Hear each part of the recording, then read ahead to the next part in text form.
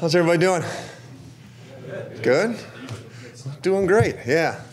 All right. Well, we're uh, you know we're kind of in the stage of first wave of free agency. Move through here and um, feel good about the guys we added last week. And you know, there's still free agency is ongoing process, and we'll continue to work through that here over the coming weeks. Um, certainly uh, busy with draft prep right now.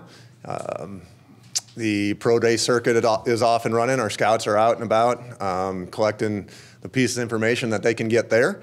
Um, you know, and our, our coaches are busy with their evaluations and, and um, you know, they're doing their Zoom calls and, and getting a chance to meet with the players.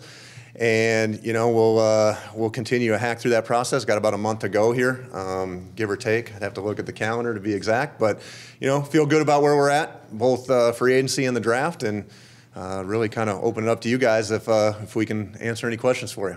When it, when it comes to the free agents that you guys have signed, it seems like there's a type in terms of age range and and the amount of games they've been able to play in the last couple of years. Is that is that a big part of the equation of what you guys are looking at when you're adding players? Yeah, Darren. I think you know first and foremost it starts with um, with the tape and how we how we see players fitting with uh, with our group and in our scheme. And you know, I think anytime that we can add someone, you know, uh, younger players in that in that age frame, uh, durability being a big part of it. I mean, there's there's no, uh, you know, one of the biggest abilities is durability, being able to be out there every week. Um, so you know, I think being able to check those boxes is certainly positives, and you know, also guys that we can continue to move forward with. You know, and and uh, you know whether whatever that magic age is, um, but you know, still have a, a good chunk of their career left going forward. So you know, we're excited that that most, if not all, of the guys that we sign fit that bill bill. Um, you know, so not only that can help our 2024 roster, but moving forward into the coming seasons, uh, also a positive. JG, what's your process when Monti gives you an infusion of talent like he has over the last week and a half? Win games. Um, no. Uh, we got to figure out. We got to get them on the grass. Figure out, you know, what what Monti just said. You know, we've when you watch the tape, um, you know, there's a role and a vision for each player that we that we sign up, um, and then it's up to us to kind of integrate them, catch them up to speed, how we do things, all those things like that, and then ultimately go out and it's a production business to help us win. Um, but super excited about, you know, the the character of the guys that we brought in, um, obviously the tape, and um, you know, as we move forward, just figure out what's best for us and them and uh, coach him up and have him play good ball for us. For each of you, which, where does the defense stand now as it did compared to two, three weeks ago? Go ahead, Monti. Well, I mean, I don't, you know, unfortunately, Bob, I don't think we'll be able to completely answer that until uh, opening week of the, the 2024 season. But, you know, I think I think we honest we wanted to add competition. We wanted to add depth. Um, I think we were able to do that. Um, you know, added some pieces to the D line uh, to the secondary, to the linebacker room. So, you know, I think that anytime that we make a move to add somebody to the team, um, it's going to be with the mindset of adding competition, adding, you know, uh, raising, uh, raising the expectations of what we can do. So, you know, to sit here and say, hey, you know, we, we think we've achieved this, you know, we don't know. Like we, we're, it's going to come out uh, once, once we get out there on the field during the season. But you know, we're excited about the guys we added. We think they're going to help us, and ultimately, it's going to be uh, on up to them, up to us, up to us as an organization to put them in a position to be successful. Aside from the two main defensive linemen, what did you see in Tonga that uh, added him kind of an under the radar type guy? Yeah, so Tonga, I mean, he's he's big. That's the first thing. I mean, I, the first time I met him, man, he's he's a thick dude. So you know, um, you know, he he ended up playing. He's played quite a bit of ball here uh, the last couple of years. Um, you know, really finished the season strong last year for Minnesota. So again, you know, I don't think um, you know whether it's the offensive line or the defensive line. I don't think you can ever have enough depth or competition up there on each, each side of those lines. So you know, another guy to come in here and, and compete and uh, see if he can carve out a role for the team to Jonah Williams, an offensive lineman who's played on both sides. You still have that versatility with Parrish. When you sign a player with that versatility, is that signing with the intention of knowing which side he's going to be, or is that more fluid? You just know he can play both. Yeah, I think anytime a player, uh, you know, whether it's Jonah or anybody that we signed, um, brings versatility, I think that's a great word to use. Uh, it, it just increases the possibility. So, um, you know, whether Jonah lines up on the left side or the right side or Parrish, you know, wherever he goes, um, yeah, no matter what position a player plays, the more they can do, the more value they bring, bring to the roster. So, you know, I think it's a it's a good problem to have, and you know, we'll we'll see once everybody gets out on the grass, we'll see where everybody fits best. Um, but but the more you can do, um, the more excited and the more value you can bring to the roster. Let's, let's talk about this one for a minute here, because you guys are going to ask me 132 times. Um, we will know who's playing where the Friday before we play week one. So when you guys ask me, where's this guy playing? Who's the starters? What are we doing? Blah, blah, blah. I don't know, guys. So we'll, we'll, you'll see week one. That's how we'll do that. What do you guys like about uh, the Mack Wilson senior signing? Violent, violent, high football character, can play multiple positions, um, fast, smart, tough. Excited to be here. JG, Sean Murphy Bunting is going to be entering the room. Even though he's 26, he's kind of going to be one of the older veterans in that room. What's your early message to him for that regard? Yeah, go do your thing. You know, we signed you for a reason. Be you. Um, you know, obviously he's played um, on very good defenses. Won a Super Bowl. Uh, has played left and right. Played inside. He's a guy that I've done a lot of work on. It's kind of funny. Kind of comes full circle now that we sign him.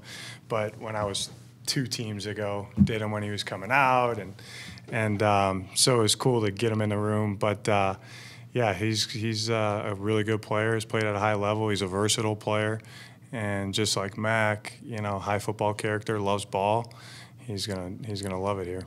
He said that you guys see what he sees in himself. Yeah. And you said all the work he'd done previous on that. And Mon, you can maybe talk about this too. Is it a product of watching the film and then marrying that with what Drew and Jonathan and Nick do schematically? Absolutely. I mean, I think that's a huge part of, you know, we're not just, um, you know, one thing that we're, we're, we're intentional about the players that we add. You know, it's, um, it's not a, a case where we're just going out and, signing players and, and picking them out of a hat. I mean, the players that we are selecting for us, whether it's the draft or free agency, are, are guys that we feel have a good fit in what we're going to ask them to do. I mean, there's there's plenty of players, whether it's this draft cycle or free agency, that they're good players, but they maybe their skill set lends itself to a different scheme. So and that's fine. That's going to happen every year. Um, but you know, the guys that we ultimately, the guys that we ultimately add to this roster are guys that we believe can do the what we ask them to do in our scheme. Uh, that's a, that's an important part of any person that we add to this program. We're seeing a lot of third-year quarterbacks change teams this offseason. You guys got one in Desmond Ridder. Why did you make that move, Monti and Jonathan? What do you think of Ridder as a quarterback? Let me start there. He, uh, you know, the skill set, big guy, arm talent, mobility, uh, smart, plays fast. That's what jumped off the tape um, to me. And I know we didn't plan, but prepping for him too. Um, you know, talking to some people that you know, you know what the character of the guy is. Um, so yeah, I thought he was a really good addition to add what we're looking for there. Yeah, and really, um, Bob, you know, as with any anybody that we're at, is we're we're seeking to add competition to the roster, and so, um, you know, I think it, adding Desmond to the room with with Kyler and Clayton um, gives us, you know, three players that, that are going to have a, a, good battle, and um, you know, skill set wise, they they're all shaped a little bit differently, but I think they all uh, schematically can do a lot of the similar things. Um, you know, Desmond has played a lot of ball over his two years. He's started, I believe, 17 games. Um, you know, so he's got some experience, and that's uh, you know, there's no no substitute for experience, especially at the quarterback position. So, you know, the opportunity add, came up to add him, and uh, we were excited to do so, and you know, excited to see how that competition plays out here in the spring and then into the summer. What are your thoughts on Marvin Harrison Jr. not doing this pro day and the combine, apparently wanting to concentrate on actually preparing for football rather than the drills and stuff that goes on in those events. Yeah, and I think, you know, with all these, you know, all the spring prep and the draft prep, I think that's really a, a personal decision that, uh, you know, that players have to make. Um, you know, hey, I'm, I'm a big fan of uh, the more good information that we can have in the draft process, the better. Um, but, you know, it's not going to be the first time that we don't that a player doesn't check off every box for the, the spring process. It won't be the last time. Um, you know, so you know, it's uh, in Marvin's case, it's his decision, what he thought was best for him, and so you know, we respect that, and we'll continue our evaluation process, no, not only on him, but uh, every draft prospect, and um, you know, we'll we'll evaluate the best we can with the information that we have. There was a report that he asked teams that he met with at the combine whether there was anything they wanted to see or for him to take part in the pro day. Can, can you confirm that in your discussions with him? Uh, I'd have to go back to. I don't. I, I have a tough time remembering yesterday. Um, yeah, I don't. I'm not sure if, if that's exactly how it went, but yeah, we talked about we talked about what his plans were for the spring, and he he kind of informed us what his plans were, and so you know we'll we'll adjust accordingly. Um, but yeah, yeah, we had a we had a good productive meeting with Marvin at the combine. Um, so yeah. In the last 12 to 13 months, culture was a big part, big word that both you touched on shortly after you were hired here truly every single free agent that spoke with the media said something along the lines of something is brewing here, something is different, and you can feel it. start with you, JG and Monty, if you want to tag on. I mean, what are your thoughts when you hear about how quickly the competitiveness and the culture that has been here is spreading around the league, or did you gather any of that from your discussions with them? Um, no, I think, you know, when they walk in the building and the people that they meet and how the people act, I think that's what they're saying, right? So that's, you guys have heard me say all the time culture is who you got in your building and how we behave, how we act on a daily basis. Um, so I think walking into our building, every, every building's different, you know, how it's set up and the people in place. And you, there's more than one way to do things, which we all know it's just how we do things here. You know what I mean? I think um, certain guys take to that. They like that. Um, so uh, they'll they'll sing a different tune after the first week of OTAs when I get after them all. But uh, it uh, it'll be fun. They want to be coached. They want to have fun. They want to improve. They want to grow. They want to be around guys that are like-minded to them that want to do those things too. Um, they want to know: Is this okay? Is this not okay? and, and you know our guys will tell them we have no problem saying this is okay, this is not okay. You know, for the betterment of the team, um, to make sure that we all keep in alignment because winning teams are aligned. So they realize that some of these guys are coming from really good football teams. They understand that. So they want to make sure that box is checked from my standpoint, um, which we always have to continually do and improve that part. Um, but I think it's checked Monti, is your draft board completely set? And if so, could you tell us how many projected first rounders you see and your team sees in this draft? Uh, no, because you guys are interrupting my draft prep right now, and uh, I should be up doing working on the board right now. Uh, no, no, no, just kidding. Uh, we're we're still in the middle. We're still in the middle of uh, working through our board right now. Um, you know, and you know to uh, answer your question, um, you know, we don't we don't necessarily talk in those terms, Bob, about how many first rounders there are. I mean, I mean, in the end, like I, am not quite sure what that really means. Like, what's a first rounder? What's not a first rounder? Um, you know, we're just trying to evaluate. Um, we're trying to evaluate what a player is, what his player's role will be, to what level, um, and we talk in those terms. You know, and so um, you know, to say I couldn't, even if I wanted to give you a number of how many first rounders win this draft, I, I wouldn't know how to do that. Um, so all I can say is that we're we're rolling through draft prep right now. We got about a month left. Um, we'll be in good shape here. Um, we're we're on target. Uh, you know, Dave Sears and Rob Kissel are upstairs. They're, they run a pretty pretty strict schedule for me and uh, keeping us on task. But we're gonna we're gonna be in good position when it comes to the draft. Hopefully, I see it before you, Bob. Hopefully, I see it before you do. Yeah. On DJ. Uh, it was brutal. Yeah, it was brutal.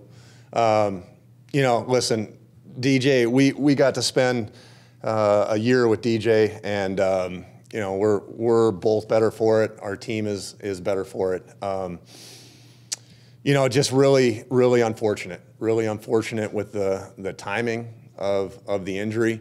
Um, you know, obviously for us as a football team, and obviously for DJ um, on a personal level. So, um, you know, uh, the the, the the salary cap and and the way things are set up and the way contracts work, it just it put uh, a very tough situation. So.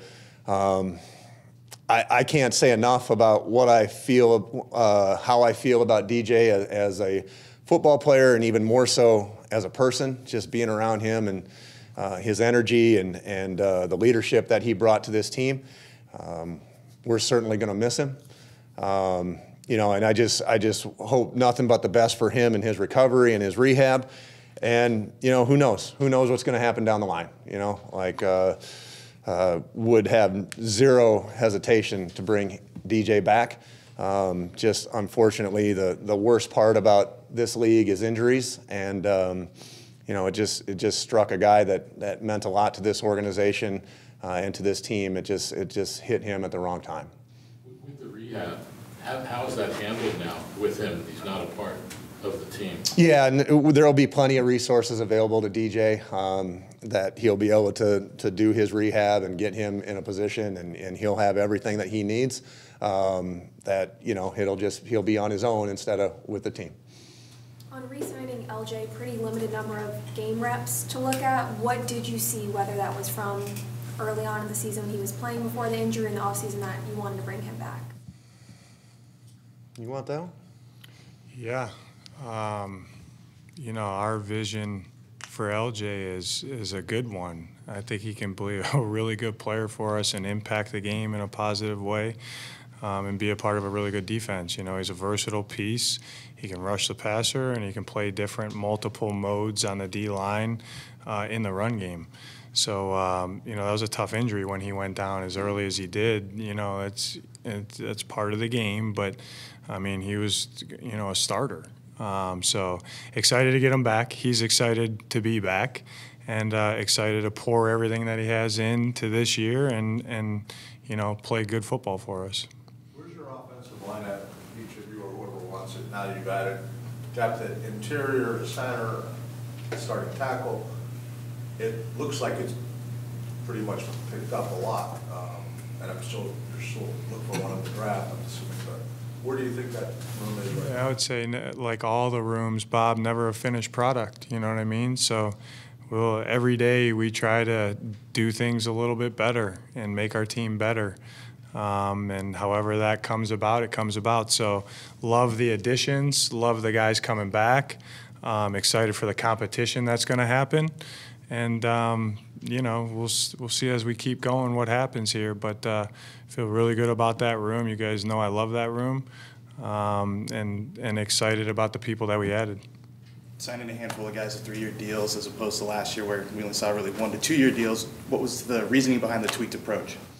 Yeah, and I think um, you know I think a couple reasons. I mean, one we had we had cap space, right? So we had had room to uh, to work and to maneuver and uh, you know, and I think um, another reason is, you know, I think our team is at a different stage than it was last year at this time. And so, um, you know, I think as I talked about earlier, um, wanted to get a group of guys that we could add to the core that we already have that we could, you know, move forward with and not only be part of the 2024 team, but the 2025, 2026 team and beyond. So, you know, I think that happens. That's a product of a lot of things, not only cap space, but uh, who the free agents are that you're signing. Um, you know, age, durability. Are you comfortable committing to players um, over a, a, longer period of time? And so I think a lot of those things went into it, um, and ultimately made us feel comfortable going to those two and three year deals. That was different than what we did last year.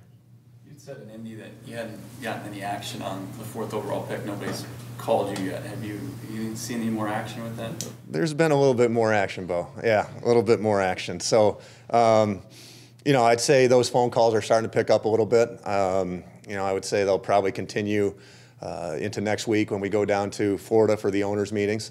Um, you know, I think most teams are in a similar spot to us and um, starting to finalize their boards and. Uh, the, the pro day piece is kind of the final on-field piece for evaluation evaluation purposes. Um, you know, so I, I, would imagine some of those conversations will continue to pick up. Um, you know, but honestly, I, they probably will not get real serious until we get right up until the the week of the draft, similar to last year. So. Um, they have definitely picked up, um, but I would expect that to continue here for the next month. Say, in general, if there's a draft day trade or even on the clock, how much of that groundwork is laid beforehand? Yeah, and I would say there are there is a considerable amount of it that is laid beforehand, um, but with everything, um, you know, it, it kind of has to wait to see. There's only so much that with so many play or so far that it can go because um, again, every every mock draft out there has everything all figured out what's going to happen and. Quite honestly, I, I don't believe much of any of them. So, um, you know, we, we pick at four. That means we don't know what's going to happen at one, two, and three. So, you know, I think people have conversations. Hey, if if this happens, or if so and so is available here, then maybe we can talk, and it would look something like this. But you know, ultimately, there's still a lot of unknown, and really, there will be until we're on the clock um, that that Thursday night in April. So. Will you stay open for business right up until your, your turn to pick on that? Or if you like a guy, you're gonna say, sorry, I'm? There'll be a big neon sign that says "open," and we'll. Uh, I don't think I don't like it blinking. That kind of messes with my eyes. But yeah, we're uh, we're always going to be listening. You know, I think you know. We'll, we'll always have the conversation. You know, uh, we may not get to a point where the deal makes sense, whether it's at four or uh, anywhere we're picking, but we're always going to have the conversation. And if it makes sense and it, um, if it's attractive to uh, building our team, and then it's something that we'll certainly consider no matter where we're at in the draft. You, with, with free agency, I, I know you guys have the meetings ahead of time where you're talking about players, but are you, are you active in making the decisions on who is being targeted? Or is it more like, hey, I know we're probably gonna be going after X position or Y position and, and then you get some kind of phone call that says, okay, we're bringing this guy in? Yeah, mine and I are in lockstep with everything that we do. Um, there will there will be some times where, um, hey, the the landscape changed. Take a peek at this guy, because that happens, you know, and that's cool. But yeah, we. Uh, kind of collaborate on all that, and then I tell him all the time, "Hey, man, like what? Well, the coaches, we don't have to, you know." And he wants the opinions of guys, so um, but we trust with what him and his staff are doing, and he's making us a better team uh, every day. Uh, You mentioned the timing, of course, with DJ. Is that also the situation with Jonathan Ledbetter? Yeah, real similar. Yeah, Howard, real similar. Just the timing of the injury. Um, you know, uh, Led's working through some things, and yeah, I would say that was a, a consideration as well. Yeah. Can you both shed some light on kind of the major differences between when you were both coming in last year and now this offseason? Absolutely, yeah. So we, we actually had, have talked about this. Um, you know, I think last year um, it felt like we were on a treadmill that was about you know 45 degrees, set at 10 miles an hour, and we were just we were going, and it just we could never catch up. You know, it felt like we were we were constantly just trying to get to the point where we felt caught up. And so, you know, I think the difference is this year is that there's still a huge amount of work to do, and that work doesn't go away, but um, the timeline of that work is where it's supposed to be. So, you know, we knew, the coaches knew when their free agency uh, assignments were going to be and when those meetings were going to be. Then they knew when their draft list was going to be and when those meetings are going to be. And they knew when 30 visits are going to be. And so everything now is on the timeline that it should be. Uh, there still is certainly um, an urgency to what we're doing. Um, there's still um, some days it seems like an in- insurmountable amount of work, but at least now we know what's coming um, on the timeline that is our structures and processes are in place. So to me, that's last year again felt like we were playing catch up. This year, hey, still a lot of work to do, but we kind of have a better picture of where that's going to come right um, along down the line. You feel that same way, that Jonathan, considering last year at this time you were on the job for about a month? Yeah, yeah, I, w- I would say that. I think, um, you know, I think what's cool is is a year of growth. You know what I mean? Being in that job, in that role, um, being together all at one staff, and kept a lot of the guys, same guys together. I think that's cool because you got to grow and learn from what we did last year. Um, but I tell people, oh, how much more comfortable are you this year? Not, I mean, there's a sense of urgency. I live on the edge of my seat. You know what I mean? So Um, the things that need to get done, they need to get done at a high level to improve us. I always say the clock's ticking. You know what I mean? And and that's that's not like wins and losses. It is, but it's I know like in the next three days, I have to watch these so many players and have a good opinion on them. Like that's like to do right now checklist. Like I got to get out of here right now, guys, because if I don't, I'm to be behind the eight ball here. You know what I mean? So it's things like that. What Monti just talked about. It's it's um, you feel a little more comfortable because you know what's kind of you know what's going on and how we've decided to do things.